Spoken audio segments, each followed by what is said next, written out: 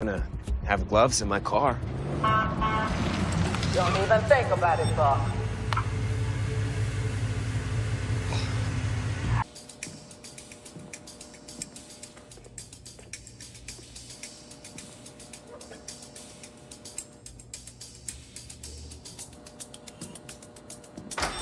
Oh, Athena, finally. Uh, you, you find anything in the dumpster? We found a handbag and the ID of the missing girl. I still don't understand what this girl has to do with Sue. Tracy Weber was kidnapped less than a mile away from the supermarket. We think she might have been in the car that hit Sue. That would explain why the driver was gunning for her, so she couldn't tell anyone what she saw. 911. 911. When we got on the scene, Sue was trying to talk.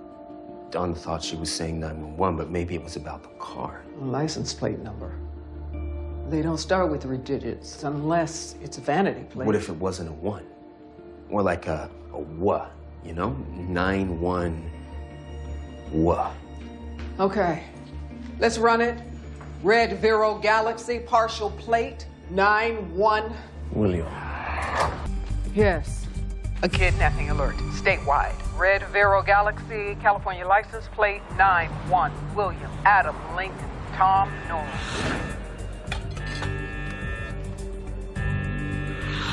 Police now believe Blevins was hit while attempting to thwart a kidnapping in progress. The young woman's name is Tracy Weber. She was reported missing three days ago. She was last seen with this man, Patrick Ryan Boyd.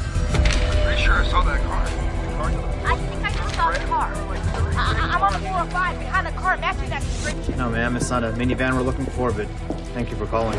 My car matches the kidnapping. I'm running Did I- a robbery job on the 101 heading south where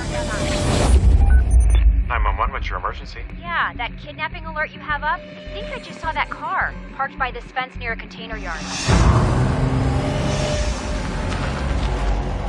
5 Adam 32. We've located a red Galaxy parked near the container yard at Garvey and 43rd Street. Plate on the vehicle is 9-1 William Adam Lincoln Tom Nora.